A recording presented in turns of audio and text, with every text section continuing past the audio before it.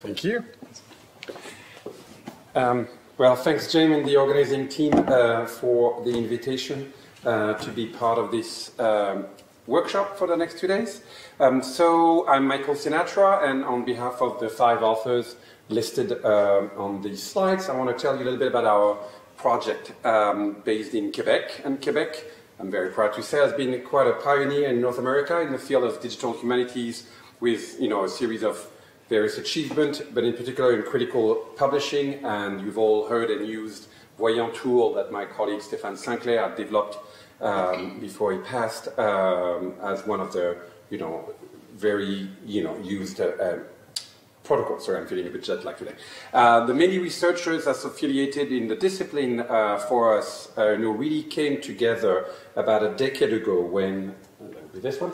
Um, we started uh, the groupe de recherche sur les éditions critiques en contexte numérique, bringing together people from different disciplinary background, information school, religious studies, uh, English, uh, design, uh, philosophy, and communication. Um, and Italian studies, uh, all working uh, together to sort of uh, receive funding from the Fonds Québécois Société Culture, so the Quebec funding bodies uh, in order to federate individual expertise within a team that both enhances the value of individual work, but also forges new collaborations for research project and grant application, and supervising graduate students that we do, you know, um, and share supervisions uh, with them and postdoctoral fellow.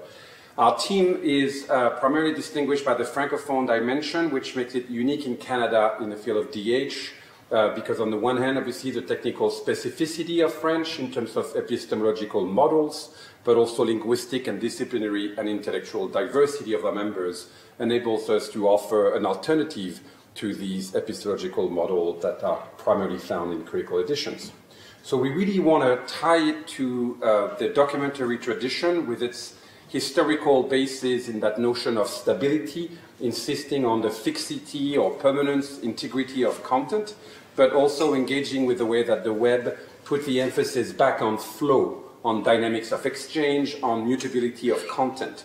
Thus, between the two classic poles of stability and movement, a redistribution is taking place. And according to the different phases, and, and colleagues in communication in particular are always very fond of of engaging with that topic, the document can be a mean of distancing an event for the purpose of proof and memory, but also make it possible for the duration of the stage involved in the construction and access. So today, with the speed of production as well as automated documentary distribution and recommendation by automated system, the human is no longer always having the time to construct the event as a document, but can only visualize a partial representation of it. So how do critical edition engage with that sort of technological change that has profoundly altered our research editing methods? Media has also changed and the way that we engage with scholarship in different remote and portable devices also you know, restrict physically um, the way that we use notes and other supplementary information. So the, you know, the constraint that you know we are sort of used to in textual form has been you know fully you know transformed. So with these long and distance form of production, we have two temporalities that overlap, and our kind of intention throughout these different projects, and Joyce will be mentioning several in particular, we want to really engage with what Milad Doueihi has sort of discussed as a kind of digital humanism in a way that you know the tools transcend the technical aspect but really our own relationship with production of knowledge.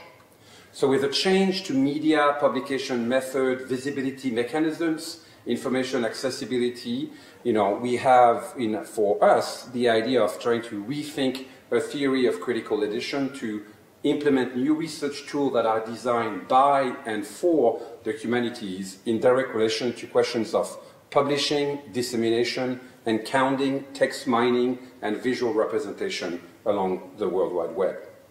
Um, the presentation today is tied, for, uh, on the one hand, with the team that I've, you got here, but also with the Social Sciences and Humanities Research uh, funded. That's a Canadian uh, federal uh, level funding that uh, gave us money for the Nouvelle Réflexion sur les éditions critiques en contexte numérique to complement our work and bring in international partners to, you know, and, and practitioners and theorists from four different countries in Europe involve themselves in a whole series of projects. So we've brought in 13 colleagues from America, Germany, and France to sort of try to have that international perspective that I sort of touched upon earlier on in my own questions. And this allowed us to sort of think about activities that we made around two main axes. There we go.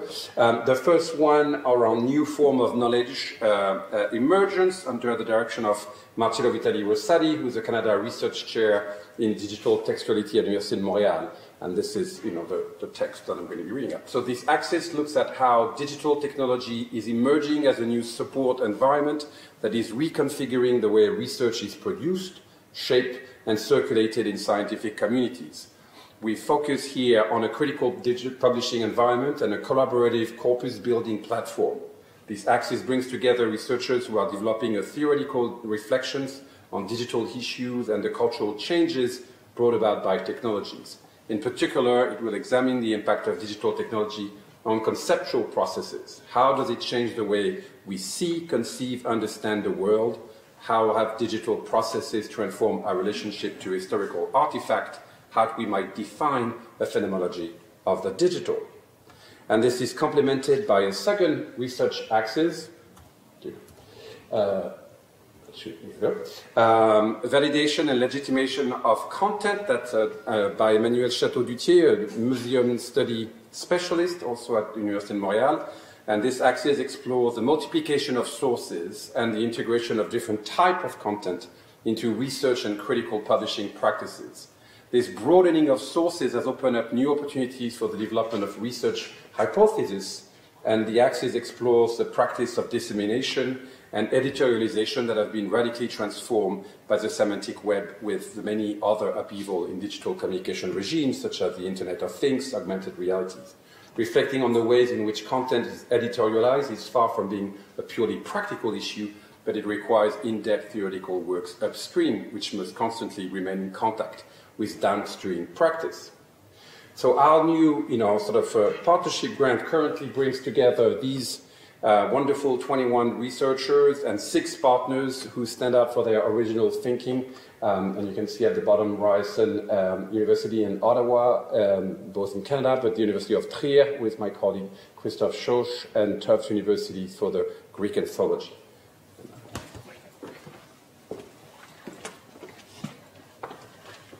Hi, so um, I'm Joyce Boro, one of the members of the group. Um, so, as Michael mentioned, our group involves many partners um, and lots of projects. Um, despite the variety, I think um, all the projects coalesce in a commitment to process driven, collaborative work and in a desire to rethink the boundaries um, of what critical logicians can do through a combination of theory and praxis. So, in the time that we have left, I want to focus on some of these projects, starting with those that we have on our website. How do I do the slides? Just the uh, arrow on the I don't want to push the wrong. Yeah, oh, it's on that's the okay, cool. Um, there we go. Okay. Um, starting with um, what we have listed on our website, um, which is non-exhaustive, as you can tell with the number of people involved. We do a lot more than that, but I want to start with those um, and then talk about two of the projects in, in a little bit uh, more detail. Um, so the first one, um, the Anthologie Palatine, I'll talk about in detail in a bit. Um, the second one we have there is the Digital Leigh Hunt, um, which is led by Michael. Um, this is an online uh, database and anthology devoted to the 19th century writer's critical writings and also an exploration of his reception, um, his interactions, and his networks. the Novum Decameron is led by Jean-François Vallée, um, this is an online anthology of short literary texts and visual arts, um, all of which were created during um, and just after uh, the COVID 19 pandemic. And the point of this project is to use social media and this platform to kind of think about and expand uh, the interactive possibilities of digital uh, publication. Um, the next one there is uh, the Library of Glissant Studies. Uh, this is left, uh, led by Jeanne Gigousseau and Raphaël Laroux. uh, which focuses on the French Martinique writer um, Edouard Glissant, um, working on a digital anthology of his work, um, and also a big focus on uh, his critical reception, um, and those two very much uh, working together. Revue 2.0, uh, led by Marcello, we already mentioned. This is a, a, pilot project that's challenging and rethinking the role of scholarly journals in the humanities and social sciences and helping to accompany journals um, in a transition to the digital realm um, and kind of really theorizing how that can happen. So it's both a theoretical and a, a practical um, project. Um, Stylo, the last one there, also uh, led by Marcello, um, is a text editor uh, for the humanities and social sciences, so it's very much a tool um, that he's creating, um, adapted to today's needs. Um, it's both a tool, um, as I said, and it's also a philosophy of text based on the idea that we need to be designing text models that are specifically adapted for writing in the humanities. Um, and as I said, there are lots of other projects that aren't um, listed on the website, um, one of which is the Texting Wilde project uh, led by Jason Boyd at Toronto Metropolitan University, um, which focusing on Oscar Wilde is also exploring um, computer assisted methods for analyzing large, large collections um, of life writing texts. Um, another one is one of my projects, which is Shakespeare au slash in Quebec um, which I'm co-doing with, uh, working on with Jennifer Drouin, and I'm going to talk about uh, that one also um, in a couple of minutes. Um, so yeah, so Anthologie Palatine, the Greek anthology. Um, this is a project led by Marcello Vitali uh, Rosati in collaboration with Elsa Bouchard and uh, Christian Rasch, all of which, all of whom are at uh, Université de Montréal with us. Um, this project aims to provide a critical edition of the Greek anthology. Uh, this is a compilation of Greek epigrammic poetry from the classical to the Byzantine period. So we're talking about more than 4,000 pieces uh, by about 325 different authors, written over 16 centuries. Um, the base texts are the Codex uh, Palatinus, which dates to 940, and the Appendix Planudea, which dates to 1301 um, which are themselves based on earlier manuscript collections, some of which date back to the 4th century BCE, um, which provide all sorts of different compilations and reconfigurations of the epigrams. So this is hugely complicated uh, textual history and makes my head spin just thinking about it. Um, the platform is aiming to offer the most complete edition possible of each one of these epigrams. Um, so each epigram is associated with several types of editable information, um, including all the different versions of the Greek texts from all the different manuscript witnesses, uh, translations into different languages, um, working on as well with alignments of these translations, all sorts of notes, commentaries, uh, information on the authors, um, images of the codex um, and the scholia, so the critical commentary in the manuscripts um, keywords, places cited, etc. A lot.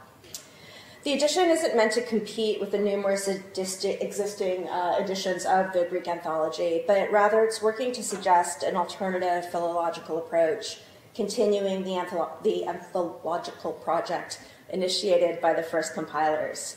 So the project's very much moving away from a classical, critical genetic edition, um, really going from the premise that there is no true or original text, um, and it highlights the pluralities um, of the textual material because this variety is at the origin of the collective imagination that is uh, the Greek anthology. By definition, an anthology is characterized by the use of several sources and the continuous enrichment um, of that corpus.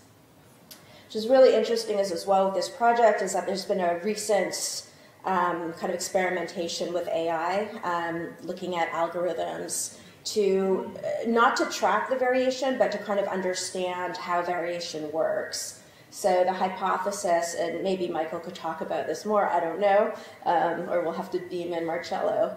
Um, but the hypothesis is, is that if we can figure out an algorithm, algorithm that can describe the textual heterogeneity of the Greek anthology, that we can work towards establishing um, like a more formal definition of what variation actually is. um, which I think is really neat, and I wish I understood how to do that and more of it, but it's beyond me. Um, so yeah, so my project, um, Shakespeare au slash in Quebec. This is a bilingual open access project dedicating to producing a critical anthology as well as an interactive theater database of the approximately uh, 40 textual uh, dramatic adaptations of Shakespeare's plays uh, written in Quebec from 1960 to the present. I say approximately because the list keeps growing. So just when you think you've got a handle on it, someone goes ahead and writes another one, which is very inconvenient. Um, most of these plays are written in French. Um, two of them are in English, uh, and two are bilingual. Um, the bilingual one is editing that was um, it was it was a joy. It was a joy. Um, so, given the, the long-standing linguistic tensions between French and English in Quebec and the prevalent categorization of England and the Anglosphere generally as an unwanted colonial presence, the repeated turn to Shakespeare by Franco-Quebecois writers may seem surprising, but it's definitely there. And so this project works to highlight um, this rich and overlooked facet of uh, theater history.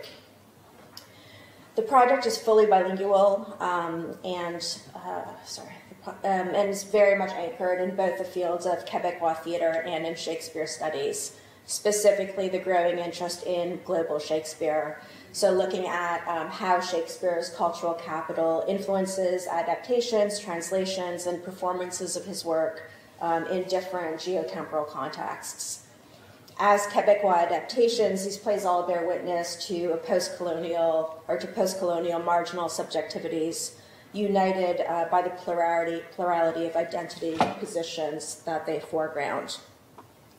So, of these approximately uh, 40 plays, only 12 plays in the corpus are available in print. Um, and of these 12 plays, none exists in a critical edition that comprehensively annotates both the Shakespearean sources as well as the Quebecois historical, political, cultural um, allusions, uh, which is what we aim to do. Um, several of the manuscripts that we have um, are draft scripts um, intended for stage production rather than publication. Many of them have marginal notes and underlinings by the author or the director, maybe, we don't know, or maybe the author and the director. Um, all my medieval paleography skills are coming in very handy um, there. And uh, yeah, so the texts are, are um, both culturally and textually uh, layered. And this is very much reflected um, in the editions um, that we'll be putting on this platform. So, in these editions, um, all the Shakespearean references um, are annotated, historical and political allusions as well, annotated and explained. Um, the editions are going to be accompanied by a searchable database um, of each play's theater history um, and links to archival materials such as performance reviews, theater programs, and various visual media um, that we have for the individual plays. Um, and a timeline um, is also there, situating the plays in relationship to each other and also in relation to kind of major milestones um, in theatrical, political, and cultural history of Quebec. Um, do I have another picture? No. No, that's it. No more pictures. Okay, I'll go back. You can you can look at the pictures. So, just some concluding thoughts. Um, the team is very much also committed uh, to developing the next generation of digital scholars. Um, all of the projects involve graduate students as research assistants, um, and all of the and, and many of our PhD students are preparing their own critical editions or are focusing on theoretical ideas related to digital editing. Um, all of our students, the PhD students, are co-supervised, which I think is really important, um, which enables them to be fully supported, multiple perspectives, and I think it also helps them to gain a, a deeper connection um, to the team, so they really know what's going on um, and feel involved. Um, along with sharing knowledge and expertise within the researchers involved in the project, we're also aiming to develop some best practice guides um, in which we'll offer an operational summary of our recommended editorial protocols and models. Um, these guides are ideally intended to um, become reference points for researchers, um, available in open access, the multimedia content, uh, specifically video tutorials, um, that will explain the use of certain specific tools, methods, and methodologies uh, which reflect the group's research program and our collective expertise. Uh, so, thinking of things related to um, document model and ontology, documentation, tagging, text mining, um, and visualization. Um, our team has adopted a flexible structure that allows continuous dialogue and direct collaboration between all researchers and partners.